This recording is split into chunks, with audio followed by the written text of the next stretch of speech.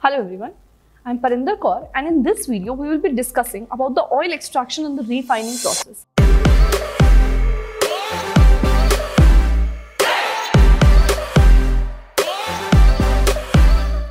So now once the oil has been extracted uh, by either the mechanical method or the solvent extraction method, whatever oil we have, we call it as crude oil and this crude oil generally cannot be consumed as such for consumption as an edible oil. For the process, we have to undergo refining process for this crude oil so that it can be rendered fit for consumption as in it is free from any, uh, any off odor, any off flavor, taste, uh, color, all of these. So refining of oil, once the crude oil has been extracted, we have to refine it before it can be used for consumption in order to remove the free fatty acid, phospholipids, pigment and the volatile components. So to remove all of these, we are doing this refining process of the oil so that we can remove any free fatty acids, phospholipids, pigments, volatile compounds, all of these can be removed from the oil. So now if we look at the refining process over here, so the refining process consists of five basic steps. So first we have the crude oil and then we are doing degumming. So degumming and neutralization or neutralization is also known as deacidification or we can say neutralization. So basically these two are done together, degumming and the neutralization process. So first degumming as the name tells removal of certain gums. So we will be removing the gums lecithin phospholipids. They will be removed in this process with the help of water and phosphoric acid. So we are adding water and phosphoric acid. What will happen is along with the water and the phosphoric acid, uh, this gums, these gums will be converted into hydrated forms. They will become into hydrated form and these gums then can be removed, right? So what we are going to do first, we are adding water and uh, we are adding some amount of phosphoric acid as well so that we can remove all the gums lecithin phospholipids all of these can be removed because with the addition of water and the uh, and the phosphoric acid it is converted to hydrated gums which can be removed from the oil. Next step we have is the deacidification which is also known as neutralization. So as the name again tells removal of the acid right. So what what acid basically we mean over here the free fatty acids which are present in the oil. As we know free fatty acids are not desirable and if free fatty acids are present the taste odor all of this of the oil as well as the shelf life will be affected. So we do not want the free fatty acids. So in order to remove the free fatty acids what we are going to do? So basically the free fatty acids so in order to neutralize th these acids if we add a base like NaOH, right? So if we add a base, neutralization will occur. So what we do basically in this step, we are adding NaOH so that the free fatty acids can be removed. Now the third step that we are having is the decolorization. So decolorization or we can also call it as bleaching. So in this step, again as the name is telling, removal of the coloring pigments, any color which might be present in the oil. So for example, the oil may be containing certain carotenoids, right? So for example, mainly xanthophylls may be present or maybe sometimes chlorophyll pigments, small amount may be present or certain other compounds. For example, some metal ions might be present which might give a different color or a darker color to the oil that is not desirable. So in order to remove these coloring pigments, what we do, activated clay is being added in this step.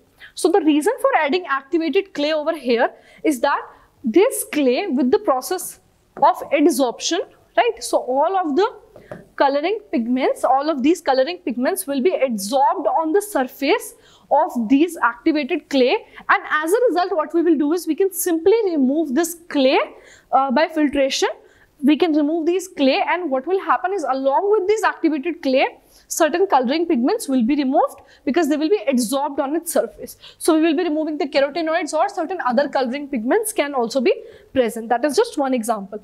Then next process we have is the deodorization. Again as the name tells removal of the odor giving compounds which might be present in the oil. So the oil might be containing certain aldehydes, ketones, uh, small hydrocarbons, all of these which might be giving it a, a bad odor, a different odor which is not desirable. So in order to remove that, what we are doing is direct steam is being passed. So steam at high temperature is being passed and with the steam eventually what will happen is all of these uh, compounds they will be vaporized and removed from the oil. Now the last step we have is the winterization. We might or might not follow this process. This process is basically in order to remove the triglycerides or we can say triacylglycerides to remove in, to, in order to remove them. So what can happen is because of the presence of these triglycerides, the oil might solidify at a cold temperature. So we do not want the oil to solidify at a cold temperature. So as a result, winterization is done. That is, we are basically subjecting the oil to low temperature. So as the name tells, winterization, it has something to do with low temperature, right? So low temperature may be around 4 to 10 degrees Celsius, we are storing our oil. And once we are storing our oil at a temperature of around 4 to 10 degrees Celsius, what will happen is basically the triacylglycerides will solidify. And once they will solidify, we can easily remove it by filtration. So winterization is followed by filtration and after that we obtain the standard edible oil which is free from any gums, phospholipids, which is free from the free fatty acids, which is free from all the coloring pigments. So the color of the oil will be rendered lighter and which is free from any off odor because aldehyde ketones are being removed and which is free from the triglycerides. They have been removed by winterization followed by filtration. As a result, the oil will not solidify at a, at a lower temperature. So this is how basically the refining is done. So now if we look at each step one by one, first one we have was the degumming. So in the degumming, we were removing any phospholipids, phosphatides, lecithin or gum. Basically, we are removing all source of the phosphorus in the oil.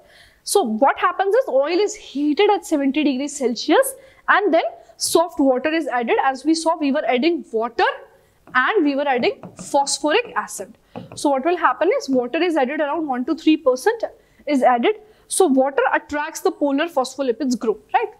So what will happen is water will eventually attract all the polar uh, phosphatides group. Basically, it will be converted into the form of hydrated gums, which can be removed. Now, temperature, why we are heating it? There is a purpose of heating as well. So, temperature is being utilized to disrupt any emulsion that may form, right? So, once we are removing all of this, there is chances that emulsion might form, right? Between the oil and the water, emulsion might form. So, what uh, we are utilizing temperature so that there is no emulsion formation. We are disrupting any emulsion that may form and so sometimes what can happen is some of the compounds, they might not separate in the aqueous phase and as a result for them we are adding 0.02 to 1% of phosphoric acid. So this phosphoric acid, 85% phosphoric acid is basically added 0.02 to around 1%. So with this we will remove the all the gums. So next we have is the neutralization. So as we have already seen this process is also known as deacidification that is the removal of the free fatty acids. So why basically it is being done in order to remove the free fatty acids from the oil? And it will also help to ultimately reduce the smoke point and increase the shelf life. So access, so sometimes whatever amount of alkali is required, sometimes some more amount of alkali may be added as a result to neutralize the phosphoric acid which we had added in the first step during the degumming. Some traces of the phosphoric acid might be present, right? So in order to neutralize that phosphoric acid as well, which is from the previous step, sometimes we might add some excess alkali as a result, what happens is when the alkali is added, sodium salts are being formed of the fatty acids.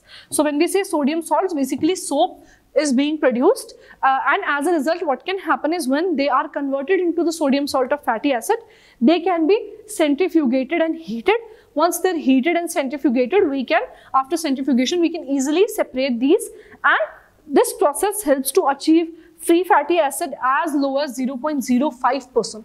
So if the free fatty acids are 0.3 to 0.4%, we can reduce it to as low as 0.05%. Thus, it will have a very, very long shelf life. So this is basically the neutralization process. So next process we have is the bleaching process. So again, bleaching process is also called as decolorizing right decolorization in order to remove the coloring pigments so we are removing so uh, in the last step we saw that we were removing also the phosphoric acid which was added during the first step here also we will also remove any residues of phospholipid fatty acids soap so every step if there is something remaining from the previous step as well, that is also being, uh, being taken care of. It uh, adsorption process basically takes place as we had seen. Activated clay is being added which will, because of the adsorption process, it will absorb the coloring compounds. So the compounds are bonded by fine powdered absorbent at slightly above 100 degrees Celsius under the vacuum. So what will happen is at, at a temperature, at a higher temperature, all the uh, uh, the absorbent powder which has been added, the coloring pigments will be absorbed on its surface. So for example, any carotenoids can be removed with major component being the xanthophyll. Mainly the xanthophylls are present which we want to remove, which might give oil the darker color. They all will be removed. So clay binds, so basically the absorption, uh, we whatever activated clay we are adding, it might bind the coloring pigments physically or chemically. So certain van der Waals forces or forces might be responsible for the adsorption. And as a result, the mixture is then filtered to remove the clay with the bound contaminants, right? So then we will filter it and simply after filtration, we will remove whatever clay we had added. And with this clay, because the particles have been adsorbed on it, they will also be removed. The coloring pigments will also be removed. Next step we have is the deodorization. So we have discussed that deodorization means to remove the small aldehyde ketones and all of that which might be giving an off odor. So basically steam at the high temperature is being utilized over here to vaporize undesirable volatile compounds. We want to remove any undesirable volatile uh, components. So mainly it is essential for those oil which we want to be utilized as a salad dressing or for cooking, frying, margarine and shortening for all of these. Uh, we do not want the oil to have any kind of off odor. So we, we are going for this process. And what we have as a final product, we have a bland product which is free from any different uh, or undesirable odor which is free from all of them. So last step we have is the winterization process which we have again already discussed that we are removing the triglycerides mainly which settle out above 4 to 10 degrees Celsius, right? So they will settle out at generally 4 to 10 degrees Celsius and it will prevent the oil from solidifying at low temperature. As a result, what will happen is the oil will not solidify at lower temperature because the triglycerides have been removed. Okay, so oil separates into the liquid and the solid fraction. Once we are storing it at a lower temperature of let's say 4 or maybe 5 degrees Celsius, the oil will basically be divided into two parts. One portion which have been solidified and one is the liquid oil. So very easily we can remove them by the process of filtration, right? So what will basically happen is the two fractions can easily be separated by the filtration process and hence it is also called winter salad oil. We are also calling it as winter salad oil because these oil will not be solidifying in uh, at a lower temperature. So with this basically we end the oil extraction and the refining process and I hope that this topic was clear to you. Thank you.